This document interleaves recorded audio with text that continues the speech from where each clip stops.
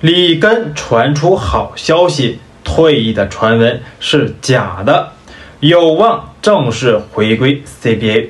大家欢迎到本期的九点体育。九点体育呢，咱们聊久一点。在视频开头，希望大家在视频下方给我个点赞和关注。好了，我们言归正传。球迷都知道，目前 CBA 的联赛是即将开始，而对于很多支球队来说，已经是完成了。最后的注册，包括呢本赛季的辽宁男篮以及深圳男篮、上海男篮这几支球队呢，都做出了一个巨大的改变。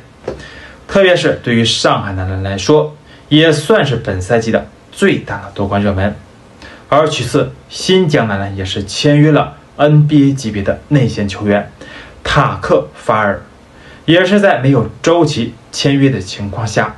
得到了内线的大幅度增强，而对于现在的另外一名传奇级别的后卫里根来说呢，他在北控男篮的两年可以说呢是非常的轻松，因为他在伤病的情况下，竟然是能够拿到两千七百万的年薪，也算是彻底的掏空了北控男篮，但是他却一场比赛都没有打。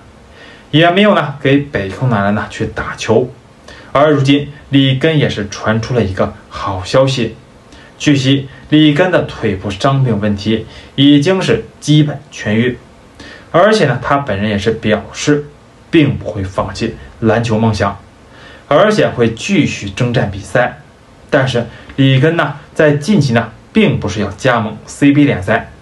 因为呢，他现在目前还不具备 CBA 联赛中能够高强度对抗，而是呢要加盟发展联盟河南男篮，这也是里根的家乡。所以说，里根如果能够继续在联赛中征战的话，那么能够打出好的表现，是有机会回到 CBA 的。那么大家怎么看问题呢？希望大家点击关注按钮，欢迎在评论区下留言。